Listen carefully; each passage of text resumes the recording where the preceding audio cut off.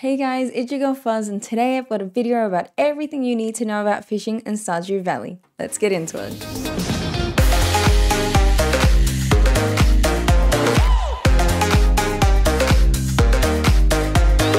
Fishing is offered as a minigame in Stardew Valley to catch all kinds of fishes in Pelican Town. As early as the second day in Stardew Valley, as mentioned in my previous video on the 10 tips I wish I knew when starting Stardew Valley, which can be found by clicking the eye on the top right, You'll receive a letter from a Pelican Town resident named Willy. He mentions returning from a fishing trip and that you should come down to the beach sometime as he's got a gift to give you. Making your way down to the beach offers a cutscene where Willy mentions that he has enough money for a new fishing rod upgrade. He then passes over his old bamboo rod. This fishing rod is great to start with, but your fishing experience can be improved by increasing your skill, which will require you to fish more, and having upgraded your fishing rod to better rods. To start off, how to fish. Face any body of water and have your fishing rod selected in your inventory. Hold down your action or tool button and you'll see a bar with a moving colored dial. As it moves up, it turns green and as it moves down, it turns red. As the colors would suggest, work on releasing your action button when the bar turns green. The closer to the top, or the more green the dial, the further your fishing rod will go in the water. Once your fishing rod is cast, wait until you hear a sound accompanying with an exclamation mark. That is the fish biting on your fishing rod and it's time to hit that action button to reel it in. Another minigame will appear with a moving rectangle alongside a fishing rod and a fish will randomly move up and down. The goal of the game is to keep the fish within the green bar to reel it in. Whilst in the green bar, your progression on the successful catch will be on the right hand side starting from red and then moving into green the longer you can keep the fish in the green rectangle. If the fish reaches red completely, you will fail the catch and the fish will escape. Sometimes you may notice a pool of bubbles appear in the water. Earlier on, your fishing rod may not reach it, but when it does, throw your fishing rod in it. You'll know you've successfully done that when the blue sparkles appear. There are two benefits of throwing your fishing rod into the pool of bubbles. One, the fish bites are four times as faster, which means faster fishing and the effectiveness of your fishing zone is increased by one, which means there's less of a chance of you catching trash, and difficult to catch fish are more likely to bite. The fishing zone. This goes without saying, the further that you cast your fishing rod, the better your fishing zone will deliver. Fishing further away into the water decreases your chance of catching trash, higher quality fish will likely bite, treasure items are more likely to appear, and difficult to catch fish are likely to appear. Consider this when developing your fishing skill. Rod types. There are four types of fishing rods offered in the game. One is given to you by Willy at the start, and the others can all be bought from Willy. The bamboo pole, as previously mentioned, is given to you by Willy. This can also be bought from Willy for 500 gold, but what really is the point of that? Unless you somehow lose it, sell it by accident, or gift it to your sweetheart. The training rod, which is bought from Willy for 25 gold, allows the option for you to catch fish easier, but only allows you to catch common fish. There is around 5 to 6 fishes that are common and they sell for pretty cheap, around 30 to 50 gold cheap, so only buy this rod if you really need fishing practice. Fiberglass rod, which I would definitely recommend getting as early as you can, costs 1800 gold from Willy. It will require you to be level 2 in fishing, and Willy will send you a letter saying that it has become available at his store. The rod gives you access to bait being added to the rod.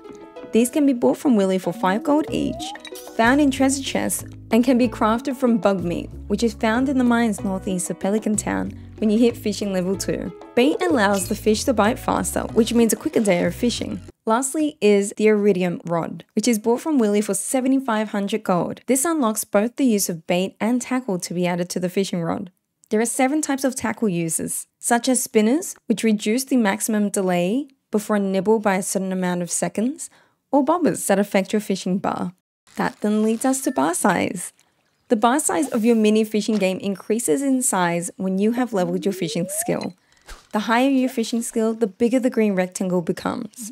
The upgraded fishing rods, such as the fiberglass rod and the iridium rod, do not affect the bar size. However, the training rod does, and it is equivalent to level 5 of fishing. The training rod has an advantage of offering a bigger bar size, but the bar size won't increase on the training rod when you level past level 5. Its sole use is to game practice with cheap fish, so don't rely on the training rod if you want to improve your fishing skill. Levels in fishing. Every level in fishing affects your fishing experience. Here's a quick run through. Level 1 increases your casting distance by one tile. Level 2 unlocks bait to either craft or buy at Willy's and the fiberglass rod. Level 3 unlocks crab pots to craft or buy and the cooking recipe Dish Over the Sea. Level 4 unlocks the recycling machine crafting recipe for you to recycle your trash into usable items and your casting distance is increased by one tile. Level 5 offers you a profession to choose into, which is either fisher, where your fish is worth 25% more, or trapper, which is resources used for crab pots are reduced. Level 6 unlocks the recipes for spinner and trap bobber, but it also unlocks the iridium rod, lead bobber, spinner, and trap bobber to be purchased from Willy's. Level 7 unlocks the recipe for cork bobber and treasure hunter, which are also purchasable from Willy's. Level 8, worm bin, barbed hook, and dressed spinner are craftable and can be purchased at Willy's, and your casting distance is increased by one tile. Level 9 unlocks recipes seafoam pudding and magnet, and the magnet can also be purchased at Willy's. And level 10 unlocks the profession for fisher or trapper, depending on what you picked at level 5. If you chose fisher, you have a choice of either angler, which your fish will become 50% more worth, or pirate, the chance to find treasure is doubled. If you chose Trapper at level 5, you've got these two options. Mariner, which crab pots no longer produce junk items, and Lure Master, crab pots no longer require bait. Locations for fishers. There are a few places to fish in Stardew Valley. The Beach by Willy's shop is the most common place. They offer a wide range of fish. All the fish will show at certain times of the day depending on the season, and some will only show if the day is sunny or raining such as the eel that only shows up in spring between 4pm and 1am on a raining day, or the pufferfish that only shows up in summer on sunny days between 12pm and 4pm. The Cindersap Forest, which is south of your farm, offers a river and a pond for certain fish. There is also the Secret Woods, which is west of Cindersap Forest and is accessible when your axe has been upgraded to the steel axe to break a fallen log that is blocking the path. The desert, which is unlocked when the bus is unlocked, offers sandfish, scorpion carp, and green algae. There is also the mountain lake by the mines northeast of Pelican Town. There are two areas that also have fishing spots, but I don't want to spoil these areas for people who haven't unlocked these areas yet. So I'll mention where they are. There is a block path where the bathhouse is that offers a fishing spot for two types of fish. And there's also within the sewers once unlocked, which offers two types of fish as well. The mines also offer fishing spots, and to save you some time, I'll let you know which floors and which fish you can find. The ghostfish is found on levels 20 and 60 of the mines. Stonefish can be found on level 20. Ice pip is found on level 60. And lava eel can be found on level 100. Crab pots. Crab pots can be placed in water with bait to catch certain fish. It is unlocked at level 3 of fishing to craft at 40 wood and 3 iron bars or can be bought at Willy's Fish Shop for 1500 gold. In the ocean, you'll have a chance to fish lobsters, clams, crabs, cockle, mussels, shrimp, and oyster. And in freshwater, it will have a chance to catch crayfish, snail, and periwinkle. Although they do have a chance to pick up trash, like driftwood and soggy newspaper. Types of fish. Now, I could be talking for days about where each of these fish can be caught and whereabouts, so instead I'm going to mention the fish you will need to find for the fish tank bundle in the community centre by mentioning where you can find these fishes and by what season they are caught. The river fish bundle, as it would suggest, are four fishes found by the river south of your farm. Sunfish and shad are found during summer and spring. Catfish is found when it is raining in spring and fall and tiger trout is found during fall and winter. The lake fish bundle, a fish that are found by the mountain lake which is by the mines northeast of Pelican Town. Largemouth bass is found all season during the day. Carp which is super common and is caught all seasons and all during the day. Bullhead which is found all seasons and at any time. And sturgeon which is found during the day of summer and winter. The ocean fish bundle is found by the ocean by Willy's shop. Sardines are found all day in spring fall, and winter. Tuna is found all day in summer and winter. Red snapper is found all day during summer and fall, only when it's raining. And tilapia, which is found all day until 2 pm during summer and fall. The night fish bundle.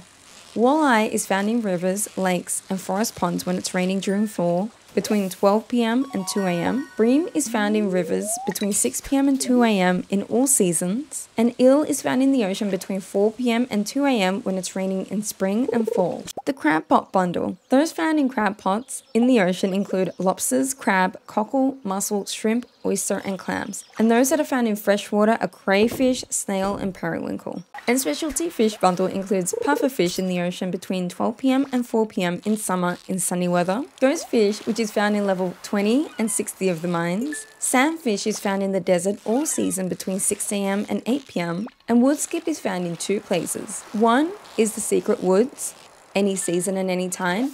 And if you've chosen the forest farm option for your farm, you can also find them during any season and any time. It's also worth mentioning there are five legendary fish that you can find in Stardew Valley, and you can only find them once per save file. Angler can be found north of JojaMart in fall. Crimson fish can be found in the ocean on the eastern pier in summer. Glacier fish can be found in Cindersap Forest in winter. Legend can be found in Mountain Lake in spring and it has to be raining. And the mutant carp, which can only be found in the sewers. I have yet to find one of these, but if you find one, definitely send me a screenshot in my Discord. And thank you for watching my video on fishing in Stardew Valley. I do have my socials down below, such as my Instagram and my Twitter, and I stream on Twitch every Monday, Wednesdays, and Thursdays, 11am Sydney time. Hope to catch you there, and I'll see you next video.